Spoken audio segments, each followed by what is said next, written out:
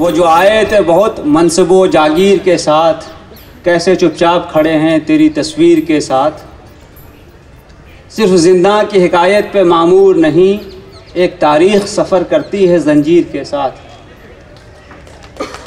तो हम ये गुफ्तु अभी शुरू करते हैं।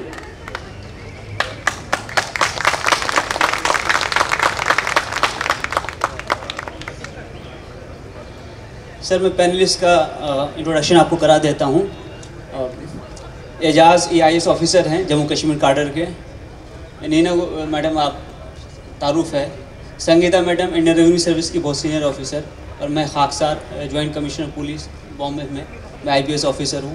मनीष भाई के बारे में कुछ कहना, सूरज को चिराग दिखाने के बराबर है। तो दरअसल सर, ये जो सेशन है, ये कला, साहित्य, अफसरशाही और सियासत। ये इस किस्म का है, बड़ा कॉम्प्लेक्स किस्म का ये है। तो मैं अभी गुफ्तु की शुरुआत ये कर रहा था कि टैलेंट किसी फ़ील्ड में लिमिट नहीं होता है। जो आदमी टैलेंटेड होता है, वो ज़िंदगी का जो भी शोबा अपने लिए चुने, उसमें वो बेहतर कर लेता है।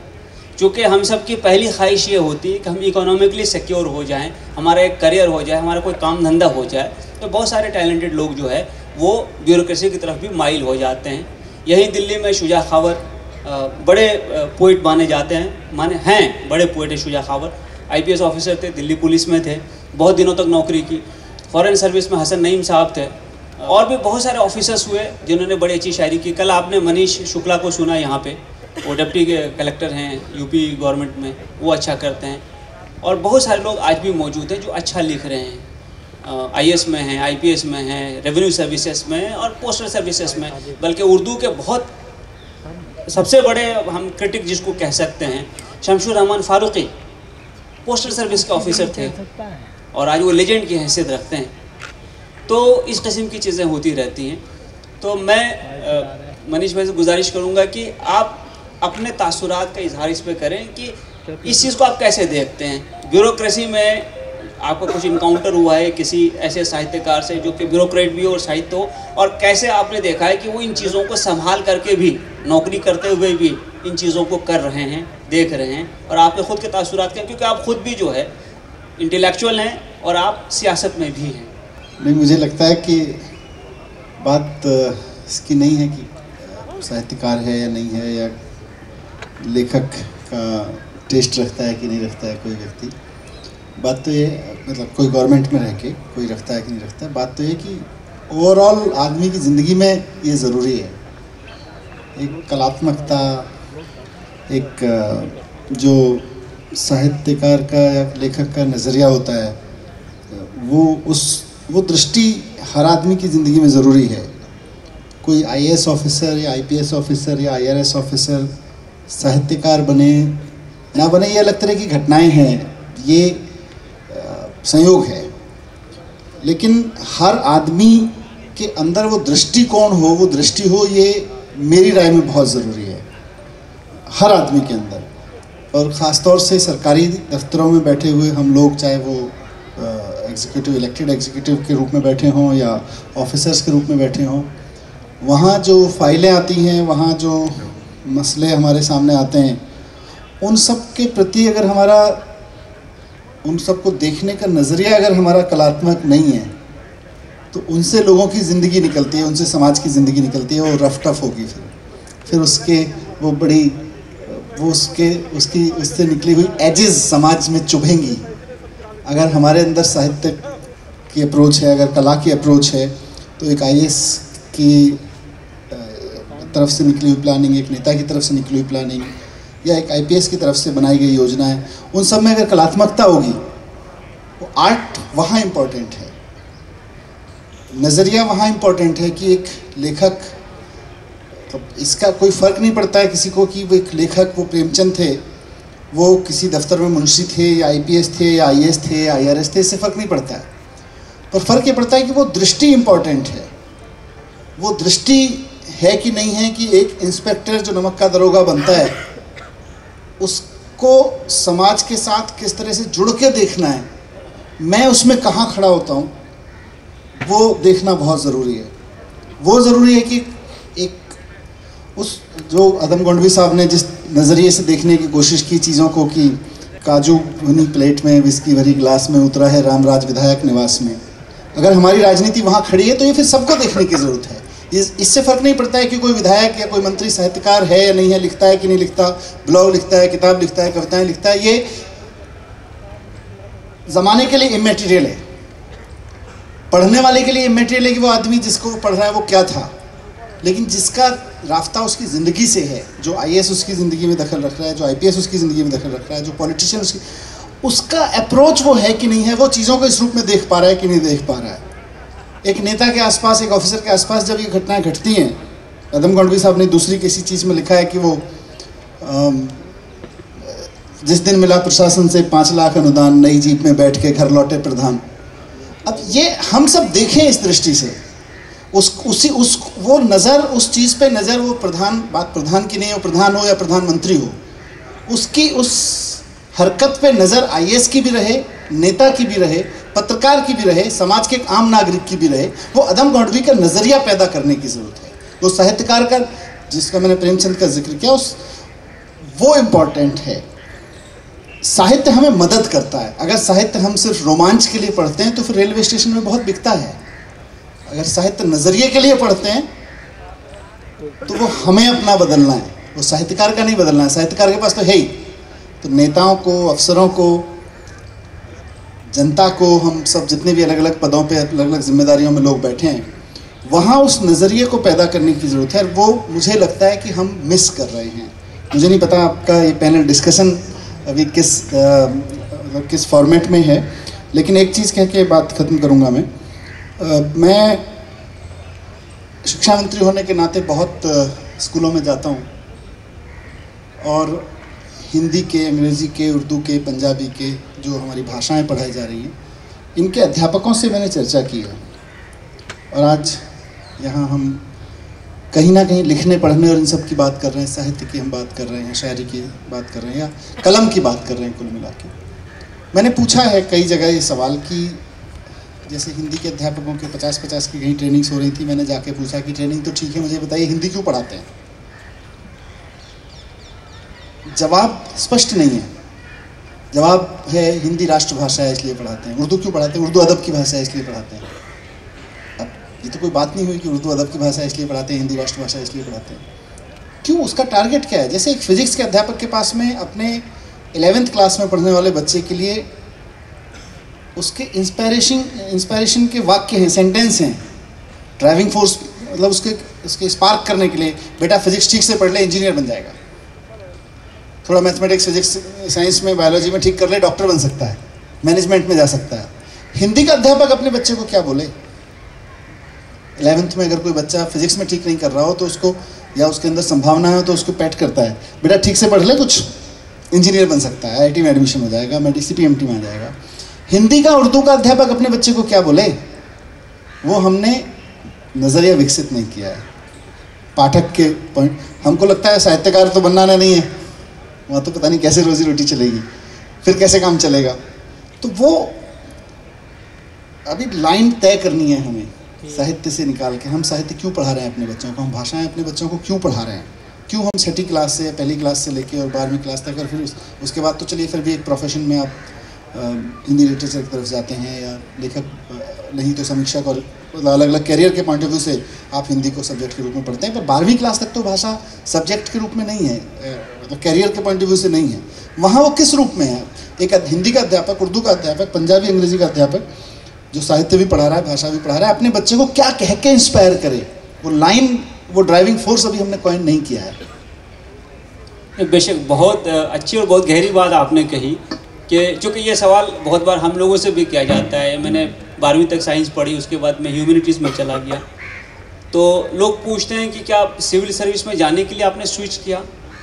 तो मैं कहता हूँ, नहीं विजन लाने के लिए। क्योंकि हम science two plus two four ही होगा। फाइव नहीं हो सकता है। साहित्य में पाँच भी हो सकता है, पचास भी हो सकता है ज़ीरो भी हो सकता है। वो विजन विकसित होता है। लेकिन हम उस चीज़ को टैग लाइन नहीं इन्वेंट कर पाए हैं। और जैसे हसन नईम ने कहा था, जिस शेर का मैं ज़िक्र कर रहा था, कि सर में अगर जुनू ना हो, मिलता नहीं ताजो फ़न। सर में अगर जुनू ना हो, मिलता नहीं ताजो फ़न इल्म हुनर के बावजूद, नामो नसब के बाद भी। ये शेर उनका है और वो एम्बेसडर रहे। अब साहित्य अमूमन क्या होता है कि वो रेबलियस होता है, समाज को आईना दिखाता है और ब्यूरोक्रेसी में बंदिशें बहुत होती हैं। हम शासन के अगेंस्ट में नहीं लिख सकते हैं। हम चीज़ों को बहुत ढके छुपे अंदाज में करते हैं। जो बड़ा साहित्यकार जितने भी हुए, वो कहीं ना कहीं एक रेबल थे। प्रेमचंद रेबल थे अपने ज़माने में। जो शोषण हो रहा था उस पर उन्होंने लिखा। हबीब जालिब का ज़िक्र मैं कर रहा था। पाकिस्तान उन्होंने अहमद फराज देश से निकाले गए। मुशारा पढ़े तो वहीं से निकाल दिया गया देश से। तो हमेशा एंटी स्टैब्लिशमेंट एक साहित्य का ये रहा है। नीना मैडम, मैं आपसे ये जानना चाहूँगा कि जो कन्फॉर्मिस्ट सर्विस है हमारी, उसमें ये चीज़ कैसे आप मेंटेन करती हैं कि रियलिटी आप कैसे प्रेजेंट करेंगे? सबसे पहले तो बहुत धन्यवाद, बहुत शुक्रिया कि आपने ये पैनल डिस्कशन रखा।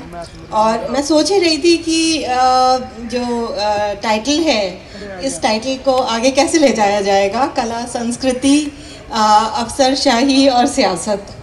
और बहुत अच्छा डायरेक्शन आपने दिया। और उसने मुझे सोचने पे अभी एकदम मजबूर किया कि वाकई हम कला, संस्कृति और ब्यूरोक्रेसी का क्या जोड़ है और बंदिशों की बात तो मैं करूँगी लेकिन मैं ये कहना चाहूँगी कि आ, हर हर कार्य चाहे वो ब्यूरोक्रेसी का हो चाहे वो सियासत का हो आ, चाहे वो प्राइवेट एंटरप्राइज हो उसमें क्रिएटिविटी की ज़रूरत होती है। बिना क्रिएटिविटी के आप जहाँ हैं आप वहीं रह जाएँगे आप विकसित नहीं हो पाएँगे। अब वो क्रिएटिविटी जिन लोगों में है वो लोग अगर सिविल सर्विस में आते हैं, अफसर, अफसरी में आते हैं या फिर वो सियासत में आते हैं तो वो एक, जैसे आपने कहा विजन लाते हैं, एक नया नज़रिया लाते हैं। क्रिएटिविटी के साथ साथ एक्सप्रेशन आपने ये कहा कि हिंदी क्यों पढ़ाते हैं? या अंग्रेज़ी क्यों पढ़ाते हैं? या उर्दू क्यों पढ़ाते हैं? तो महज इसलिए कि वो राष्ट्रभाषा है, महज इसलिए कि वो अदब की अदब की ज़ुबान है या अंग्रेज़ी इसलिए कि वो वर्ल्ड वाइड बोली जाती है?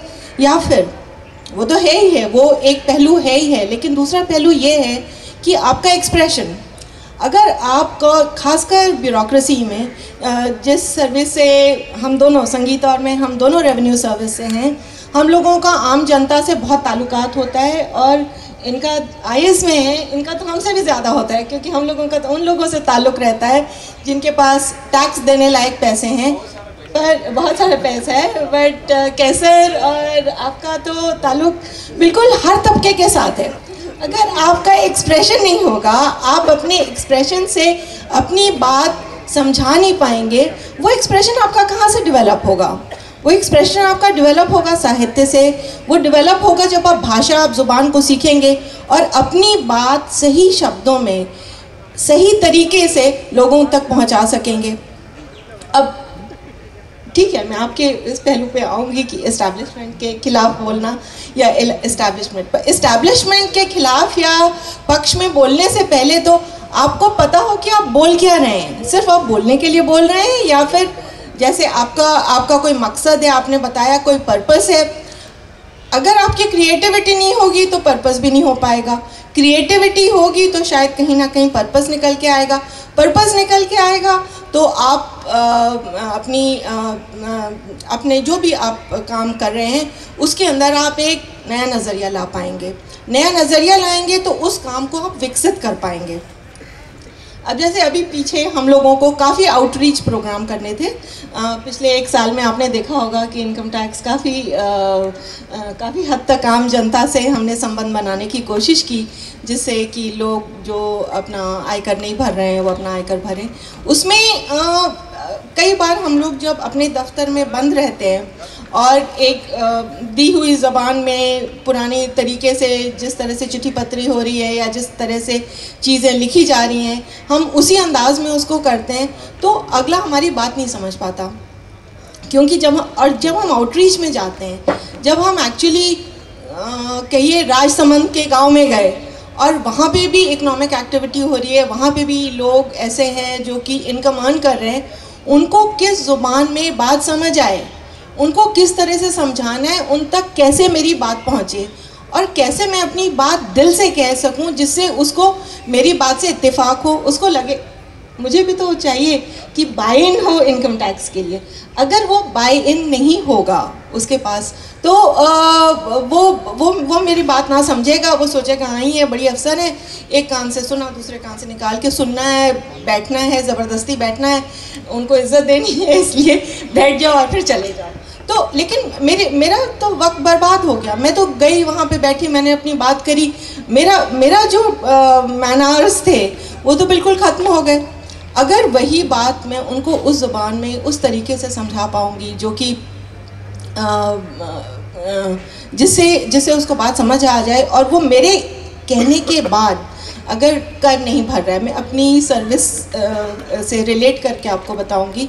और वो कर भरना शुरू कर देते हैं मान लीजिए। तो फिर तो फिर मेरी मे, मेरी बात का मकसद पूरा हो गया। मैं अपनी बात कह पाई मैं अपनी बात समझा पाई। और यदि मैं मैंने अपने बचपन में साहित्य को ना गूढ़ा होता मैंने ज़ुबान को ना साहित्य क्या है? साहित्य ज़ुबान का एक्सप्रेशन है। मतलब साहित्य को हम एक अलग से साहित्य के तौर पर ना देख के हम ये देखें कि अपनी बात कहने का तरीका है। और बात, कई बार बात कहने में कहानी के माध्यम से बात कही जाए या पोइट्री के माध्यम से बात कही जाए तो कई बार वो ज़्यादा अच्छी समझ आ जाती है। तो कभी किसी बहुत बहुत पुराने युगों में लोगों ने ये समझा कि हाँ शायद अगर मैं कहानी के तौर पे बात समझाऊँगा बच्चों को तो उनको बात जल्दी समझ आएगी। कहानी के तौर पे बड़ों को भी समझाऊँगा, उन्हें समझ आएगी। तो साहित्य के माध्यम से मैंने अपनी बात सही अंदाज से, सही सही उसका कंटेंट लेके कहना, उसको सही तरीके से एक्सप्रेस करके कहना सीखा। अब, क्योंकि मैं अफसर हूँ तो और इस्टेब्लिश के तहत फ़ंक्शन कर सारे सारी चीज़ें मैं कह दूँगी संगीता हम लोग बात कर रहे थे कि हम लोग हम लोग क्या बोलेंगे? इस बांट के बोलेंगे। तो ये जो बंदिश वाली बात है कि कैसे, क्योंकि संगीता इतनी अच्छी आर्ट भी पेंटर भी हैं पोइट्री भी करती हैं इन्होंने डॉक्यूमेंट्री भी बनाई है और आप ये जो इस्टेब्लिशमेंट के अंदर रह के अपनी प्रतिभा का अनुमान कर सकते हैं, वो आप किस तरह से करिएगा? कि ऐसा ना हो कि छोटी सी भी बात आपके छोटे से भी शब्द इस तरह से ना ले लिए जाएँ कि शायद आप इस्टेब्लिशमेंट को क्रिटिसाइज़ कर रहे हैं। कल ही मेरी पोइट्री थी, मैंने उसमें ये कह दिया, हैं दीवारें, बस आधार। तो किसी ने कहा, मैम, आप तो आधार का का क्रिटिसिज्म कर रही हैं इसके अंदर। मैंने कहा, यार, ये तो मैंने सोचा भी नहीं था कि ये ये चीज़ बिल्कुल अलग चीज़ कही गई का ये मतलब भी निकाला जा सकता है। जितने लोग हैं, उतने मतलब निकाले जा सकते हैं। लोग खुद से रिलेट करते हैं कई चीज़ों को। तो ये इस्टेब्लिशमेंट के अंदर रह के और अपनी बात कह पाने ये जो आ, आ, ये संगीत आपको और इसके बारे में कहेंगे हम लोग बात कर रहे थे कि ये कॉन्फ्लिक्ट जो है इससे शायद आपकी प्रतिभा और उभरती है। क्योंकि आप सही बात लेकिन बिना कुछ ऐसी चीज़ कहे हुए जो कोई किसी तरह के लगा कि आप गलत बात ना ना कह रहे हो वो कहना उससे आपकी प्रतिभा बहुत उभरती है कि और ये ये चीज़ जो है ये आपको एकदम नए लेवल एक सेकेंड लेवल पे लेके जाती है। और क्यों इतने लोग ज़्यादातर सिविल सर्विस अफसर लोग लिखते हैं? मैं देख रही थी कि आ, आ, हर जगह इवन ज़फ़र कहते हैं कि काश मुझे अफसर शाहाना बनाया होता। अब आप सही जो मिसरा है वो कह पाएँगे। वर्ड्सवर्थ तक इंग्लिश पोइट्री में वर्ड्सवर्थ भी मेरे ख्याल से आ, सरकारी अहदे पर थे। तैनात थे कुछ पोस्टल हाँ हाँ स्टैम्प नेरूडा पैब्लो नेरूडा और और जितने आपने और नाम गिनाए जौक जिनके ऊपर गालिब तंस कसते रहते थे और कहते थे बनाए शाह का मुहासिब सो फिर है इतरादा फिर इतरादा शहर में आबरू क्या है? आबरू क्या है? तो लॉ के लॉ के विदिन रह के इस्टेब्लिशमेंट के विदिन रह के मैं ये नहीं कह रही कि वो अनलॉफुल हो गए जो इस्टेब्लिशमेंट के बाहर हैं लेकिन मतलब एक अपने आप को उस क्योंकि आप अपनी चॉइस से अफसरी में गए हैं आपको किसी ने फोर्स नहीं किया। जब आप उसमें गए हैं तो आपको उसका डिसिप्लिन रखना पड़ेगा। बुनियादी तौर से आप सलीके मंदी की बात कर रही हैं कि हम सलीके मंदी से अपनी बात को कैसे पेश जी, करें? जी बुनियादी तौर से आपका ये पॉइंट है। और दूसरी चीज़ मैं ये भी कह रही हूँ कैसर कि आपको क्रिएटिविटी अगर नहीं होगी तो आप कोई भी काम को अगले लेवल तक नहीं ले जा पाएँगे। तो वो क्रिएटिविटी अगर सिविल सर्वेंट्स में होगी वो क्रिएटिवि क्रिएटिविटी अगर सियासती लोगों में होगी तो शायद आप अपनी सोसाइटी को एक नेक्स्ट हायर लेवल तक ले जाने में कामयाब हो सकेंगे। अब बिल्कुल। लंबी बात कह दी मैंने। जो इन्होंने गुफ्तु की देखिए वो अंदाज़ा बयान की है सलीक़ेमंदी के जैसे मैं गुफ्तु कर रहा था बल्कि आप देखेंगे कि जो वर्ल्ड रिलीजन है ना उसमें भी जो टेक्स्ट हैं वो श्रुति के माध्यम से आए हैं। हमारे वेद हों वो श्रुति है कुरान है, बताई गई, सुनाई गई, लिख के नहीं दी गई, क्योंकि आदमी को अपील पहले श्रुति करती है। बात कहने का अंदाज वो मीटर में होता है, वो वर्ष में होता है तो वो आदमी को अपील करता है, उसको याद रह जाता है और उसका असर उस पर ज़्यादा होता है।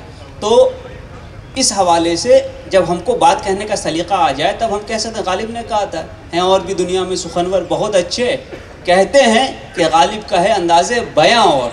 तो ये अंदाज़ बयान की बात कर रही हैं कि जो बात आप कहना चाहते हैं, उसको आप किस ढंग से रखें कि वो सुनी भी जाए और उसका असर भी हो। आपने बहुत मशहूर गज़लें सुनी होंगी, फिर छिड़ी रात, बात फूलों की। रात है या बारात फूलों की, एक चमेली के मंडवे तले। दो बदन। प्यार की आग में जल गए। आपको मालूम है इसे लिखने वाला जो शायर जो है, उनका काम क्या था?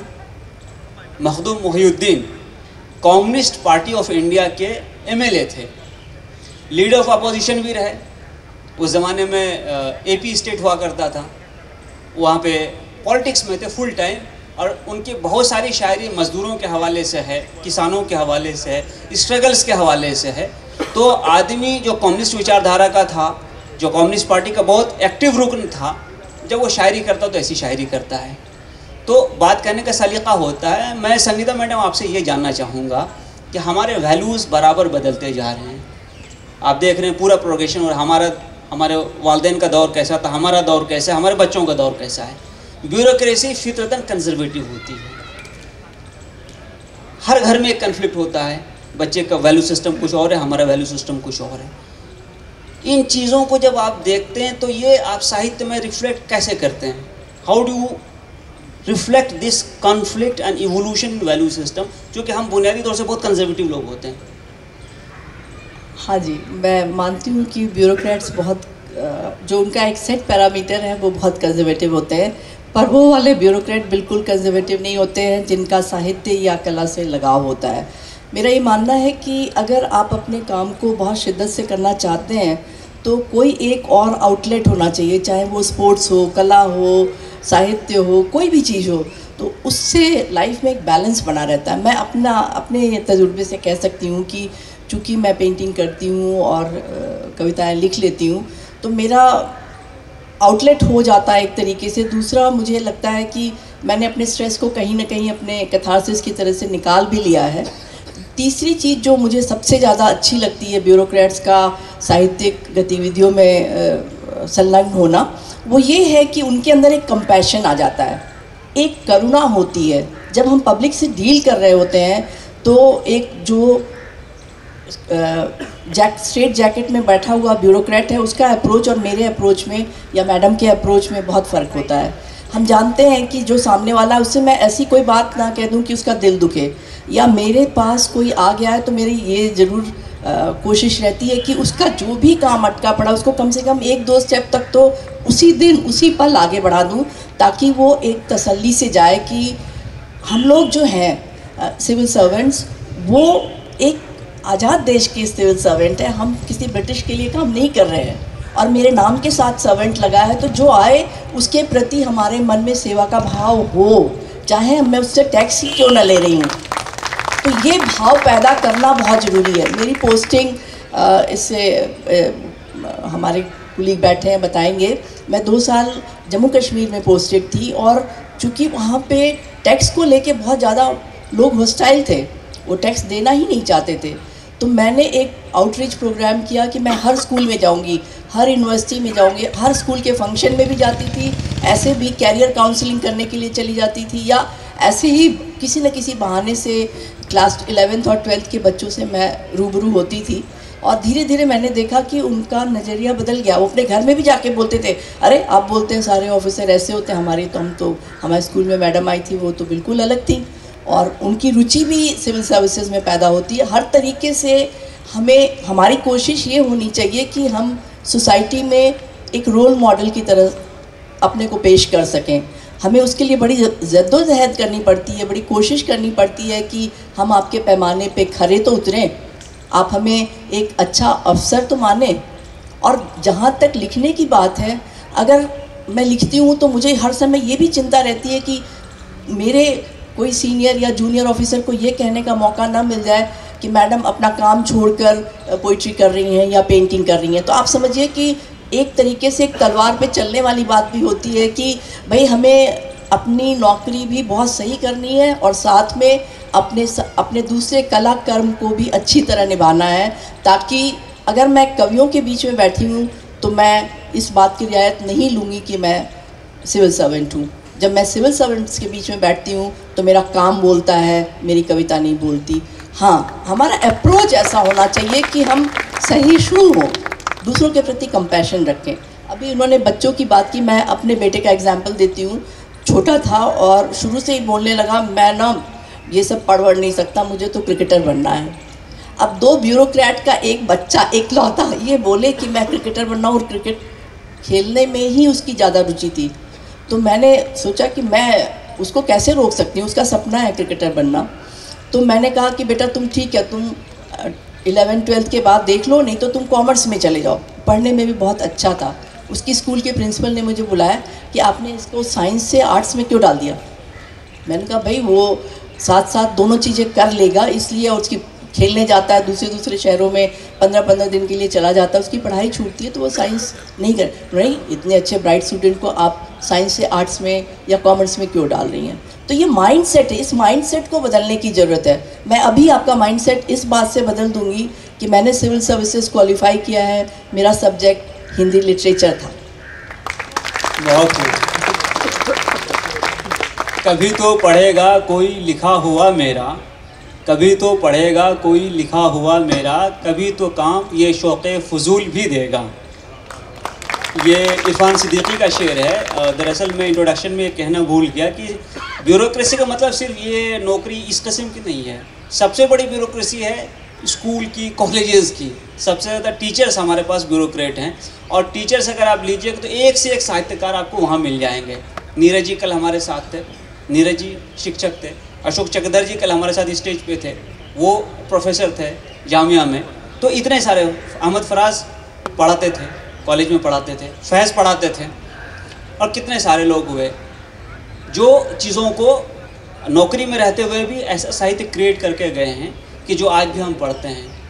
लेकिन अनफॉर्चुनेटली बदकिस्मती है कि हम धीरे धीरे अपने मूल साहित्य से दूर होते जा रहे हैं और जैसा दिनकर ने कहा था, जब नाश मनुष्य पर छाता है, पहले विवेक मर जाता है। दिनकर जी खुद मेंबर ऑफ़ पार्लियामेंट थे। मेरे ख्याल से दो, तीन टर्म रहे मेंबर ऑफ़ पार्लियामेंट एमपी रहे। रामधारी सिंह दिनकर। अब मैं एक ऐसे ब्यूरोक्रेट की तरफ़ जाता हूँ, जिसने कन्फ्लिक्ट को बहुत नज़दीक से देखा है। इसलिए नहीं कि ये कश्मीर से हैं और मैं उस हवाले से सवाल कर रहा हूँ, लेकिन इंसानी जज्बों का जो कन्फ्लिक्ट होता है, वो किसी भी साहित्यकार के लिए मवाद होता है। कन्फ्लिक्ट कहाँ पे भी हो? प्रेमचंद की देखिए एग्रेरियन कन्फ्लिक्ट है, मंटो की देखिए साइकोलॉजिकल कन्फ्लिक्ट है, इसमत की देखिए हर जगह पे कन्फ्लिक्ट है और उसी कन्फ्लिक्ट के दरमियान एक बहुत अच्छा आर्ट क्रिएट होता है। पिछले 20-25 सालों में कश्मीर में भी बहुत सारे कन्फ्लिक्ट हम देख रहे हैं। मैं एजाज ये जानना चाहूँगा कि क्या राइटिंग आपकी जो है, इस कन्फ्लिक्ट से अफेक्ट होती है? आप रिफ्लेक्ट उसको करते हैं? सबसे पहले तो जश्न अदब का और कैसर साहब का बहुत बहुत शुक्रिया कि उन्होंने हमें आज की इस महफ़िल में आने का मौका दिया। और मैं ये भी आप सबको क्लियर कर दूँ, शुरू में ही वाजह कर दूँ कि ये सारे जितने यहाँ पैनलिस्ट बैठे हैं, ये ज़िंदगी का तजर्बा लेकर आए हैं और मैं तो अभी बिल्कुल अपने कैरियर के आगाज़ में ही हूँ। लेकिन बहरहाल मैं कोशिश करूँगा कि इनके ज़ेर साया जो बातें मेरे एक लिमिटेड तजर्बा है, उसके अंदर सीमित रहकर मैं करूँगा। और जो सवाल आपने कन्फ्लिक्ट का किया, उस पर तो मैं आऊँगा। लेकिन सबसे पहले मैं आप लोगों को ये बता दूँ कि ये जो टॉपिक है future of art literature and poetry in the light of bureaucracy and politics मैं समझता हूँ कैसर भाई कि इसका टू वे कनेक्शन है। नंबर वन कि जो ब्यूरोक्रेसी है, वो लिटरेचर को किस तरह मुतासर करती है? जब पॉलिटिक्स ऑनरेबल डिप्टी सीएम साहब मौजूद हैं, उन्होंने अभी सियासत की बड़े मुदल अंदाज में बात की। तो मैं ये समझता हूँ कि ये टू वे कनेक्शन है। कि ब्यूरोक्रेसी पॉलिटिक्स और ब्यूरोक्रेसी किस तरह लिटरेचर को मुतासर करते हैं और लिटरेचर किस तरीके से अपने कदरदानों को अपनी तरफ़ रागब करता है। अगर पहला जो इशू है उस पर मैं आऊँ तो ब्यूरोक्रेसी या पॉलिटिक्स और ब्यूरोक्रेसी दोनों को एक ही समझ लें क्योंकि पब्लिक इंट्रैक्शन और पब्लिक आउट रीच बहुत ज़्यादा होती है। तो रोज़मर्रा की ज़िंदगी में एक पॉलिटिक एक, एक अगर ये जो दोनों मैदान हैं सियासत का और जो कला का मैदान है और ब्यूरोक्रेसी का जो मैदान है। अगर इन दोनों के में देखें तो जो रोज़मर्रा की ज़िंदगी के जो इश्यूज़ हैं, जो मसाइल हैं, वो जैसे मैडम ने कहा, संगीता गुप्ता मैडम ने कहा कि ये एक एक फोल्डर का काम करते हैं। ये मसाइल एक इशू आता है जो किसी भी शख्स को ये इम्पिंज करेगा कि इस पर कुछ कलम उठाई जाए। चार्ल्स डिकन्स ने बड़ा अच्छा कहा था कि writing could play are remarkable role in fixing the problems of the world तो सियासत में और ब्यूरोक्रेसी में। ऐसे लोग जैसे मौजूद हैं, जिनको ये रोज़मर्रा के जो मसाइल हैं, इनको कलम उठाने पर मजबूर करते हैं।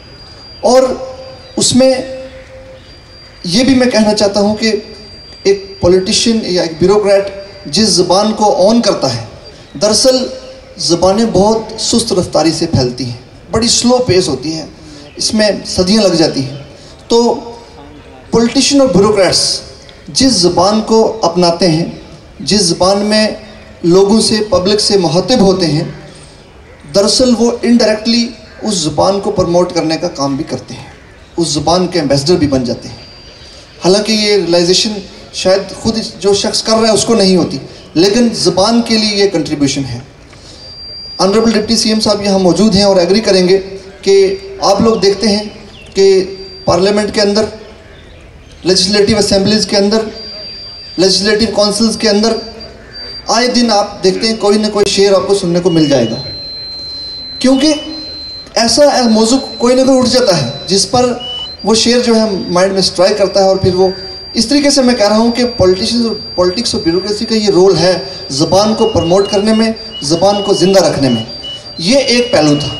इसका दूसरा जो मैंने कहा, पहलू कि अब कोई ज़ुबान या लिटरेचर या कल्चर या आर्ट किस तरीके से अपनी तरफ़ ब्यूरोक्रेसी या पॉलिटिक्स, पॉलिटिशियंस, ब्यूरोक्रेट्स जो भी कहें आप, उनको अपनी तरफ़ खींचती है, अपनी तरफ़ रागब करती है। तो जब हम इस मुद्दे पर बात करते हैं तो मैं ये कहना चाहता हूँ कि मैं बिल्कुल अपने आप को, क्योंकि मैं तो गज़ल ही लिखता हूँ तो मैं गज़ल की बात करूँगा।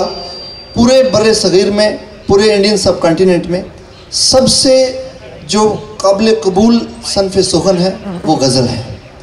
और गज़ल जो है उसने अपनी तरफ़ आप देखते हैं, जैसे मैंने मिसाल दे दी कि पार्लियामेंट के अंदर और स्टेट असम्बली असम्बलीज़ के अंदर शेर व शायरी इतनी चल रही होती है। तो उसका मतलब ये है कि कहीं ना कहीं ये एक ऐसी सनफ सुखन है जो लोगों को अपनी तरफ़ खींच के लाती है। और उसके इतनी गज़ल इतनी मकबूल क्यों हों, उसके तो कई सारे सबब हैं इसबाब हैं, मैं तो उस पर डिटेल में नहीं जाऊँगा। एक तो ये है कि गज़ल जो है ये एक दाखिली सनफ सुखन है और इसके, इसका जो दायरा है बहुत वसी है। और जो किसी शायर के दिल पर गुजरती है, वो आप बीती जो है, वो किसी और के दिल पर भी गुजरी होती है। और वो जो आप बीती है, वो जग बीती बन जाती है। तो लिहाजा ये आप बीती और जग बीती दोनों का जो एक रिलेशनशिप है, ये गज़ल का जो शेर जो आप लोग सुनते हैं, मैं वो एक्सप्लेन कर रहा हूँ कि क्यों किसी भी आप देखें पब्लिक मीटिंग या आवाम से जब भी कोई मुखातिब होता है तो क्यों इतने ज़्यादा गज़ल के अशार कहीं ना कहीं फिट हो जाते हैं? इससे ये भी साबित होता है कि गज़ल का जो दायरा है, वो बहुत वसी है। तो पॉलिटिक्स और ब्यूरोसी के बीच में, पॉलिटिक्स, ब्यूरोक्रेसी और जो लिटरेचर के अदब के बीच में जो रिश्ता है, उसके हवाले से मैंने आपको ये बता दिया कि ये टू प्रॉन्ग्ड है। इस साइड से भी है और उस साइड से भी है। और इसके अलावा मैं ये कहना चाहता हूँ कि अगर इसका फ्यूचर हम देखें क्योंकि टॉपिक तो फ्यूचर पर है इसके। तो हमें ये देखना है कि फ्यूचर जो है उसका, ये किस तरफ़ है। हम देख रहे हैं कि आज के दौर में इसमें दो मेजर जो फिनमिना हैं। एक तो ग्लोबलाइजेशन आलमगिरियत, और दूसरा बरकियाती मीडिया, जो कम्युनिकेशन रेवोल्यूशन आया है। तो ये तो दोनों रेवोल्यूशंस हैं आईटी रेवोल्यूशन और ग्लोबलाइजेशन इससे लैंग्वेजेस जो हैं, वो भी एक प्रोसेस ऑफ़ चेंज से गुजर रही हैं। और अगर आप देखें, हिंदी और उर्दू जैसी जो ज़ुबानें हैं, आज की तारीख में ये अंग्रेज़ी ज़ुबान की यलगार से गुजर रही हैं। अंग्रेज़ी ज़ुबान की एक बहुत बड़ी यलगार इसके ऊपर है और इनसे उभर कर भी ये ज़ुबानें बाहर निकल रही हैं। हमेशा ये रहा है कि इवन ब्रिटिश रूल के दौरान भी जब फोर्ट विलियम कॉलेज बना तो हालाँकि उसका फोर्ट विलियम कॉलेज जो कलकत्ता में इस्टेब्लिश हुआ, उसका मकसद तो ये था कि जो अंग्रेज़ी हुकूमत थी, कि उसके जो नो, जो उसके नवारद अफीस अफसर थे, ताकि उनको अपने किसी रोज़मर्रा के काम में मुश्किल ना आए। लेकिन उसका एक अनइंटेंडेड कॉन्सिक्वेंस ये हुआ कि फारसीत से आज़ाद और अबारत आरई से आज़ाद जो है एक अबारत आरई से बिल्कुल अलग एक ज़ुबान, उर्दू, सादा उर्दू ज़ुबान निकल कर आ गई। ये अनइंटेंडेड कॉन्सिक्वेंसेज हैं। इसी तरीके से जो गवर्नमेंट के डिसीजंस होते हैं, जो पॉलिटिकल लेवल पर डिसीजंस होते हैं या जो एग्जीक्यूटिव लेवल पर डिसीजंस होते हैं, वो डिसीजंस कहीं ना कहीं ये जो लैंग्वेजेस हैं, आपको एक पूरे गैमट में देखना पड़ेगा कि लैंग्वेजेस किस तरीके से इम्पैक्ट होती हैं। तो फ्यूचर में जो मैंने कहा कि ये ग्लोबलाइजेशन और जो बरकियाती मीडिया है, इसका अहम रोल रहेगा कि लैंग्वेजेस का जो आगे वाला सफ़र है, वो कैसे तय होता है। बिल्कुल। सर, मैं आपसे ये जानना चाहूँगा कि अभी गुफ्तु यहाँ पे हो रही थी कि लिट फेस्ट इतने सारे होते हैं और सारे लिट फेस्ट अंग्रेज़ी के ही हो रहे हैं। हमारी भाषाएँ, अभी आपने ज़िक्र किया, हिंदी, उर्दू, पंजाबी, इनके लिट फेस्ट नहीं होते और बड़े से बड़े जो सम्मेलन होते हैं, वो सिर्फ़ अंग्रेज़ी के हो रहे हैं, जबकि हमारी भाषाएँ ये हैं। और मैं समझता हूँ कि सियासत जो है, वो मुल्क को डायरेक्शन देता है, और वो उस डायरेक्शन से लोग अपना रास्ता देखते हैं। तो ऐसा क्यों हो रहा है कि हमारी अपनी मिट्टी में, अपनी धरती में, हमारी अपनी भाषाएँ कमज़ोर होती जा रही हैं? देखिए, पहले तो ये भी लिटफेस्ट ही है और ये कम से कम अंग्रेज़ी पे नहीं है और अंग्रेज़ी में नहीं है। आपकी जो कंसर्न है, उससे मैं इतफाक़ रखता हूँ कि जो ट्रेंड है, जो मार्केट है, जो सहूलियतें हैं, वो उसके लिए ज़्यादा उपलब्ध हैं। सरकार सिर्फ़ सब सरकार या बाज़ार दोनों सिर्फ़ सहूलियत दे सकता है। कंटेंट समाज से ही आएगा कलाकार राइटर से आएगा। किसी सरकार में या किसी बाज़ार में इतनी औकात नहीं है कि वो कंटेंट तैयार कर लेगा। वो साहित्यकार ही लेके आएगा वो कलमकार लेके आएगा वो कलाकार लेके आएगा। मुझे लगता है कि इसको उधर से ही सॉल्व करना पड़ेगा। ये बात मैंने किसी संस्कृत सम्मेलन में कही थी। वहाँ आग्रह यही था कि सरकार सहूलियत करे सरकार ये करे। मैंने कहा पहले आप संस्कृत के काम को वहाँ तक लेके तो चलिए। उर्दू के काम को, पंजाबी के काम को, उसके काम को लेके तो आइए वहाँ तक। इसी भारतीय संस्कृति, भारतीय साहित्य, भारतीय समाज को समझने के लिए दुनिया भर के लोगों ने अपना समय, अपना जीवन लगाया है दुनिया भर से आके यहाँ पे। क्योंकि समाज में कंटेंट है। समाज के पास पावरफुल मैसेज है। दुनिया भर के लोग अगर हमारे देश में मेडिटेशन से लेके अध्यात्म से लेके सारी चीज़ों को समझने के लिए आते हैं तो वो कंटेंट की वजह से आते हैं। कोई सरकार तय नहीं कर रही है, कोई बाज़ार तय नहीं कर रहा है उस दिशा को। साहित्य के साथ भी यही होगा लिटरेचर के साथ भी, कि अगर देसी ज़बान में, देसी भाषाओं में, हमारे हिंदी में, अंग्रेज़ी में, हम उस कंटेंट पे काम करें। कंटेंट अपने स्ट्रांग होगा, अंग्रेज़ी से लेके जर्मनी तक के लोग अपने आप पढ़ने भी आएँगे, समझने भी आएँगे, पहली बात।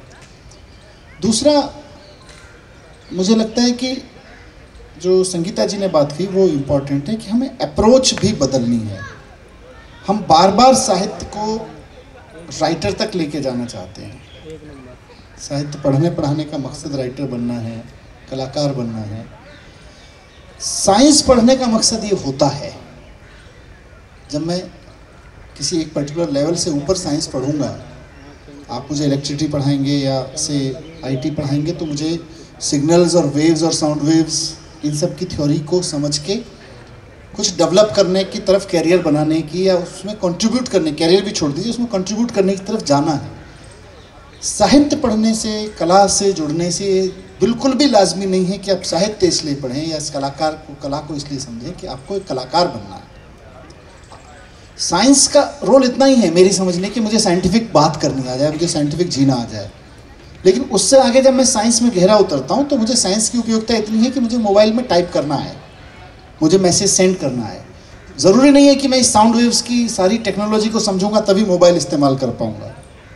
इसके सिग्नलिंग को सब कुछ समझूँगा, तभी मैं, ये ज़रूरी नहीं है। लेकिन ये ज़रूरी है कि अगर मैंने साहित्य के उस गहराई को नहीं समझा तो मैं जी नहीं पाऊँगा। अगर मैं मैं जब एटम और कबीर दोनों के साथ पढ़ रहा होता हूँ। तो ये संभव है कि मैं एटॉमिक एनर्जी को एक एक एक सीमा के बाद ज़रूरी नहीं है मेरे लिए समझना।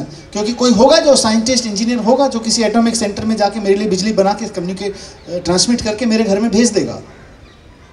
वहाँ उतने में काम चल जाएगा। कबीर मेरे लिए कोई और समझा के मेरे को किसी पाइपलाइन में ट्रांसमिट नहीं कर पाएगा। बहुत सही बात है। कबीर को मुझे अगर मुझे जीना है तो कबीर को मुझे अपने पास से ही समझना पड़ेगा। साइंस में मेरे लिए इतना सीमा बहुत है कि बिजली बनती कैसे, उतना काफ़ी है। फिर मुझे इतना चाहिए कि मैं बिजली, अपने घर में बिजली का स्विच ऑन करूँ। आईटी सॉफ्टवेयर काम कैसे करता है, इतना समझ, थोड़ा सा समझ लूँ, उतने बाद आईटी सॉफ्टवेयर हर आदमी को बनाना है।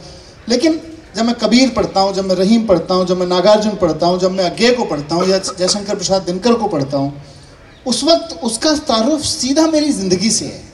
मैं अपने परिवार में, अपने संबंधों में, अपने समाज में कैसे जीऊँगा, अपने देश में कैसे जीऊँगा, इससे उस, उसका वास्ता है सीधा। वो मेरे अंदर अगर डिलीवर नहीं हुआ तो मेरा जीना मुश्किल है। दुर्भाग्य ये है, जो संगीता जी ने किया कि ह्यूमैनिटीज़ को हम अब अब सामाजिक प्रायोरिटी से अलग जा रही हैं। और शायद साहित्य, कला, इन सब के दम पे समाज खड़ा रहता है। मैं अभी थोड़े दिन पहले रशिया गया था, मैं वहाँ उसको बहुत फील करने की कोशिश कर रहा था। कि जिस देश ने इतने भयावह युद्ध देखे हों जितनी इतनी भयावह टोपोग्राफीज माइनस टेम्परेचर और उन सब के बीच में रहने वाली कॉम हिटलर के तमाम तरह के अटैक्स के बावजूद जिसकी 70 परसेंट मेल पॉपुलेशन किसी एक समय में ख़त्म हो गई वो देश अपने साहित्य अपनी कला के दम पे खड़ा हुआ है। आप रशिया में मॉस्को में जाएँ या कई और देश हैं ऐसे मुल्क हैं जहाँ पे आप जाएँ तो वहाँ वहाँ के मतलब विद प्राइड आपके सामने आती। वहाँ सत्ता आपके सामने विद प्राइड नहीं आती है। वहाँ साइंस एंड टेक्नोलॉजी आपके सामने विद प्राइड नहीं आती है। वहाँ कल्चर विद प्राइड आती है। वहाँ लाइब्रेरी से लेके थिएटर से लेके, सारी चीज़ें विद वहाँ की सड़कें, वहाँ की गलियाँ में, जो आर्ट है, वो आर्ट इंपॉर्टेंट है। वो आर्ट सामने आती है आपकी। वो शहर, समाज खड़ा, हमें कुल मिला के इन सबको कहीं ना कहीं लाना पड़ेगा। एजुकेशन के माध्यम से, इस तरह के फेस्टिवल्स के माध्यम से परिवारों में इन चीज़ों को इंट्रोड्यूस करके कि हम इवन हमारे जो सरकार के आर्ट एंड कल्चर टाइप के डिपार्टमेंट्स हैं, इन सब के माध्यम से, हमारा काम सिर्फ़ इतना भर है इन सब का कि समाज में साहित्य कल्चर आर्ट के प्रति टेस्ट पैदा हो। वो एक बार टेस्ट हो गया, उसके बाद हमें चिंता करने की ज़रूरत नहीं है। अब आसान है। पिछले पचास साल के मुकाबले आज आसान है।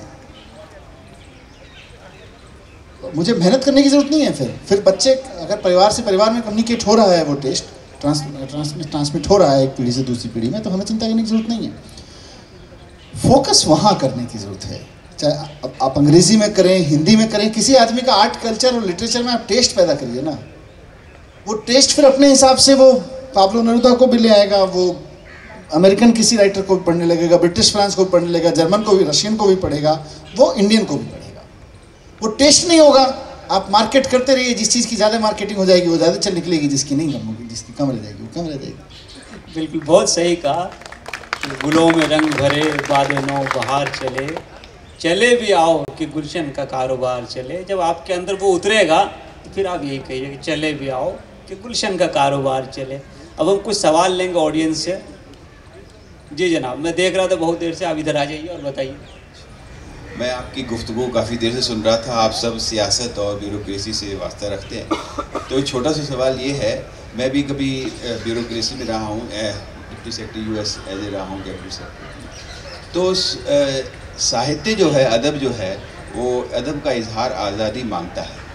तो आप सियासत और इसमें ब्यूरोक्रेसी में रहकर जो है, इजहार में कहीं पाबंदी या आज़ादी की पाबंदी तो महसूस नहीं करते, उस आज़ादी से इजहार कर पाते हैं या छटपटाहट सी रहती है कहीं? सिर्फ़। ये जवाब को किन से चाहिए? कोई भी जो दे सके जो ब्यूरोक्रेसी में है। चलिए मैं आपको इसका जवाब दे देता हूँ। देखिए अदब जो है वो आज़ादी चाहता है लेकिन मैं आपको एक मिसाल दे दूँ कि एक बड़ी मशहूर नज़म है अहमद फराज की। पेशावर कातिलो तुम सिपाही नहीं। ये पाकिस्तानी फ़ौज पे उस वक्त लिखी थी जब बांग्लादेश से ये सारा एट्रोसिटी करके आए थे और वो गवर्नमेंट सर्विस में थे उस वक्त। हाँ कंसिक्वेंसेस उसके हुए। तो शायरी में जो सिनफ है, जिसको हम गज़ल कहते हैं, वो इसलिए मौजूद है और इसलिए रेलिवेंट है कि बात कहने का जो अंदाज़ है, किनायों में, इशारों में, वो अंदाज़ आपको आना और सीखना बहुत ज़रूरी है कि आप बात की तरफ़ इशारा भी कर दें और आप मुजरिम भी करार ना दिए जाएँ। तो फैज़ ने कहा था, आज बाज़ार में पाबजौला चलो, चश्म नम जाने, शौरीदा काफ़ी नहीं, तहमत इश्क पोशीदा काफ़ी नहीं। आज बाज़ार में बाबजौला चलो। और उसका आखिरी जो बंद है कि रख्त दिल बाँध लो, दिल फेगारो चलो, फिर हम ही कत्ल हो आए, यारो चलो। तो शायरी जो है वो फ़न, इजहार जो है वो इस स्टाइल भी चाहता है कि आप उस बात को कैसे रखें कि आप पकड़े भी ना जाएँ और आपकी बात पहुँच भी जाए। तो ये तो है और इसी में से अच्छा अदब क्रिएट होता है। गालिब ने कहा था ना बनाए शह का मुसाफिर, फिरे है इतरा था, जब उनकी तलबी हो गई दरबार में, कि ऐसा क्यों कह रहा ज़ौक़ के बारे में? उन्होंने कहा, साहब, आपने दूसरा मिसरा सुना नहीं। वो करना इस शहर में गालिब के आबरू क्या है, मैं तो अपने बारे में कह रहा हूँ। ये गालिब तो बेजत आदमी है। वो बादशाह ने उसको लिफ्ट देती तो वो इतना था, फिर रहा। है लेकिन आपको ही मालूम कि वो शेर किसके लिए कहा गया था? हम सब भी जानते हैं। तो ये है शायरी। देखिए मतलब पाबंदी सिर्फ़ हम इसको इतने साहित्य या कुछ भी कहने के प्रति एक हमारे यहाँ मंडी हाउस में खूब नाटक पॉपुलर रहा है, मस्करा मौलियर। उसकी एक बड़ी खूबसूरत लाइन है जो शायद ज़्यादा ठीक से उसको जवाब देती है कि कौन रोकेगा मुझे अगर हँसते हँसते सच कह जाऊँ मैं। तो पहली बात तो यह है कि अगर आप सच कह रहे हैं और इंटेंट आपका क्या है, फिर रोकने की पाबंदियाँ अपने आप घटती चली जाती हैं। दूसरा, पाबंदी सिर्फ़ ब्यूरोक्रेसी या पॉलिटिक्स पर या पॉलिटिशियन पर सरकार में बने रहने भर से नहीं है। उससे कहीं बड़ी पाबंद। आज हम इस दौर से गुजर रहे हैं, उसके बारे में बहुत बात कह सकते हैं, बहुत कुछ कहने सुनने को है। लेकिन उसके बावजूद मैं कहूँगा कि पाबंदियाँ सिर्फ़ सरकारी दायरों तक सीमित नहीं है। समाज तक सीमित है ना। सुकरात को जहर का प्याला किसी सरकार, उस वक्त वो सरकारें रही थी, लेकिन समाज और सरकार की लाइनें इतनी अलग अलग नहीं थी ना। कबीर ने जो बातें कहीं, कबीर की बातों को समाज आज तक नहीं समझ पाया, ये अपने आप में बड़ी पाबंदी है। अपना पाया, समझ खूब रहे हैं। अपना पाया है, वो अपने आप में पाबंदी है। तो पाबंदियाँ तो जिसके बारे में भी बात कही जाएगी, उसकी तरफ़ से पाबंदी लगाने की कोशिश होगी। लेकिन हमारी बात में इतनी दम होगा तो पाबंदियाँ रुकती नहीं हैं। अब तक नहीं रुकी हैं। दुष्यंत कुमार ने क्या, इसीलिए मैंने आते ही अदम गणवी साहब का ज़िक्र किया। वो सिन्हा साहब की लुगाई से लेके और पंचायत के सरपंचों तक के लेके और विधायक तक लेके सबके लिए उन्होंने कहा। तो एक बार कंटेंट में आपके दम है तो वो पाबंदियों का मोहताज है नहीं। आपकी बात से मैं इतफाक रख रहा हूँ कि मौजूदा संदर्भ में वो जो पाबंदियाँ हैं हाँ मौजूदा संदर्भ में पाबंदियाँ हैं, उसके संदर्भ में आपका, आपकी चिंता मतलब ज़ाहिरा है क्यों है और कैसे है? चलिए, ये सेशन जो है, ये काफ़ी इंटरेक्टिव रहा और आपने बहुत ध्यान से सुना और आपने जो सवाल किए वो सवाल वही थे जो हम सब के मन में कहीं ना कहीं घूमते रहते हैं किसी न किसी फॉर्म में। और आप इसमें शामिल हुए आज धूप भी थोड़ी ज़्यादा है हिद्दत ज़्यादा है उसके बावजूद आप इतने इतमान से यहाँ बैठे रहे। मैं आप सबका जश्न अदब की तरफ़ से शुक्रिया अदा करता हूँ। और ख़ास तौर से आ, मैं honourable deputy C M Manish Sisodia साहब को बहुत बेनता शुक्रगुजार हूँ कि एक तो वक्त नहीं मिलता है। आज का दिन फैमिली या पब्लिक कार्यक्रम के लिए होता है और हमने उनको ऐन उसी वक्त पे जो है, बुला रखा है यहाँ पे, जो वक्त जो है और भी किसी काम के लिए दे सकते थे और इनकी जो हमारे इनक्रेजमेंट रही है शुरू से, इस प्रोग्राम के हवाले से, उसके हम बेानतहा शुक्रगुजार हैं। और सर, मैं ये उम्मीद करता हूँ कि ज़रूर आपकी गाइडेंस में दिल्ली, जो कि एक शहर आलम में इंतखब, रहते थे जहाँ मुंतखबी रोज़गार के वो अगला मिसरा ना हो जाए कि उसको फलक ने लूट के बर्बाद कर दिया। रहने वाले थे, हम भी उसी उजड़े तैयार के। तो वो प्रॉस्पर हो, वो फले फूले और ये तो मरकज़ है और ये मरकज़ फिर से बन जाए। मैं नीना मैडम, संगीता मैडम और एजाज़ जो ख़ास तौर से आज कश्मीर से यहाँ पे आए हैं, उनका शुक्रिया अदा करता हूँ कि उन्होंने इस, में शिरकत की, वक्त से आए और अपने वैल्यूबल मशवरों से हमें नवाजा। शुक्रिया, मेहरबानी। एक सेकेंड और तशरीफ़ रखिए, सर। एक शेर मेरी तरफ़ से भी सुन लीजिए। वो एक शायर थे, रविंदर जाकू साहिल। तो वो कहते थे कि हमने सुना है, हमने सुना है कि फ़न शायरी मनहूस है। शेर कहते कहते मैं डिप्टी कलेक्टर हो गया। तो वो हैं, मैडम जो हैं, चीफ कमिश्नर हैं। नीना मैडम प्रिंसिपल डीजी हैं, रेवेन्यू सर्विसेज़ में, आप भी रेवेन्यू सर्विसेज़ में संगीता मैडम भी। सिसोदिया साहब जो है, जहीन सियासतदान हैं और कल्चर पर पैनी नज़र रखते हैं।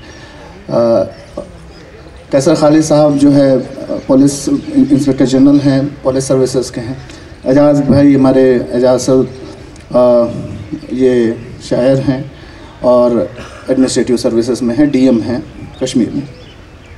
तो इस तरह से हमने इस सेशन हो गया। उम्मीद है आप लोगों को मज़ा आया होगा, सर। हम आपका शुक्रिया अदा करते हैं कि आप तशरीफ़ लाए, आपने हमें नवाजा।